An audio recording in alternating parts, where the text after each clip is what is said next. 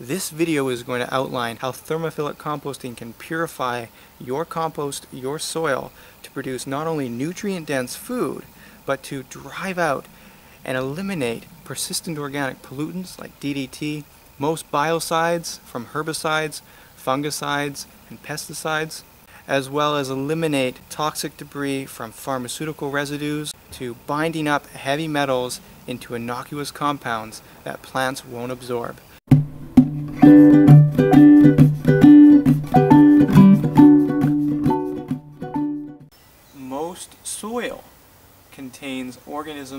Are anaerobic. These are organisms that thrive in an oxygen devoid environment. Most composts are also anaerobic. We want to create compost piles that are aerobic, that create oxygen dominated microbes, microbes that thrive in an oxygenated environment.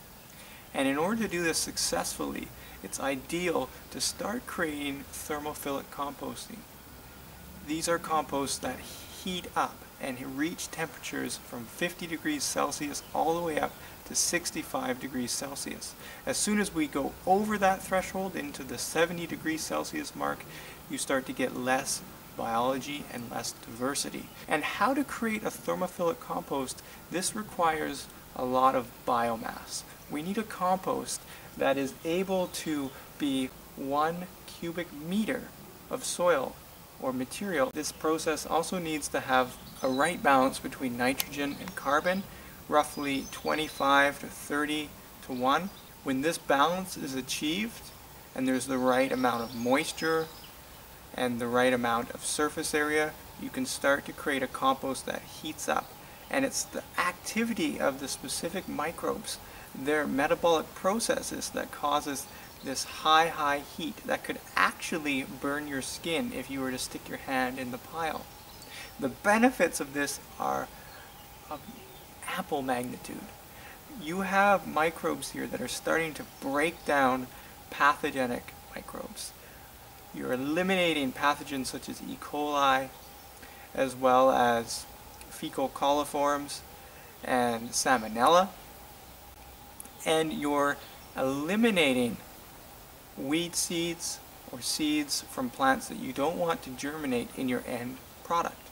You're also starting to break down toxic residues. Through the microbial diversity and their life cycles, toxic debris starts to become broken down into inert compounds. Or in the case of heavy metals, they get bound up into innocuous compounds that plants cannot absorb. This is fantastic because right now in your own backyard you can start this process and begin purifying the planet and producing a product that will provide you with all the nutrients you need to produce enough food for yourself and your family every single year. All you have to do is make this one cubic meter pile once a year and amend that to your garden and you can produce enough food for your entire family for an entire year. This is radical and if you want to learn how to do this in your own backyard, check out additional videos and we'll teach you the process of thermophilic composting and how it can begin to transform not only your life, but the planet. Thanks for watching. A wonderful day and make sure that you subscribe to our channel or leave a comment below because we'd love to hear from you.